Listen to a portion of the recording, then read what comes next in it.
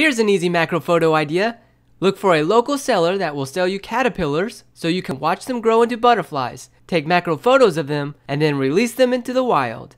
I found one at a farmer's market and got these caterpillars. It makes for an easy way to take some macro photos without having to spend your time searching for them in the wild. They are easy to handle and place however you want them. Plus, once they turn into a butterfly, you have another opportunity for a photograph before releasing them. I'll be using a Canon 100mm macro lens, so let's see what type of photos I can get. These are monarch caterpillars.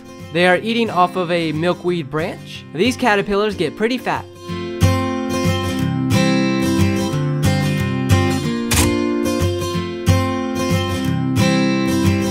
Next, I placed a colorful towel behind this caterpillar to change the background. This is another reason why I like buying these, because you can spend time arranging the scene.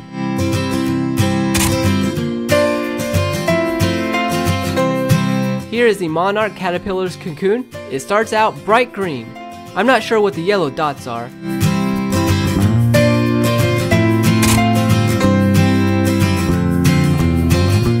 And after it hatches, take a few photos and then let it go.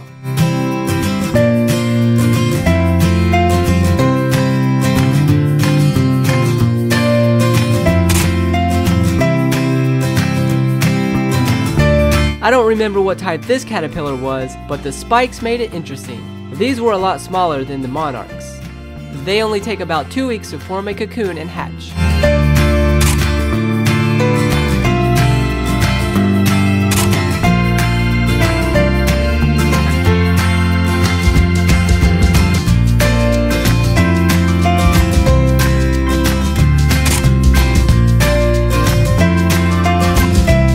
These seem to be more active and curious than the monarchs as well, always trying to escape.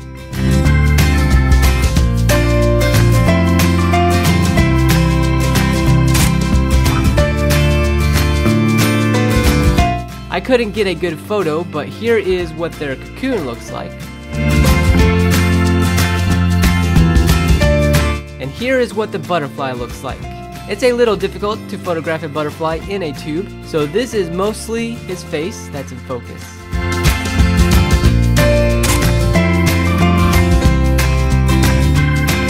When I released it, it flew to some nearby plants and I was able to get some better photos of it before it left. So next time you want to try macro photography, try buy some caterpillars.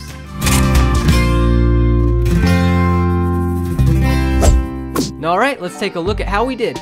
I would say my favorite is number 8. So which photo do you like most?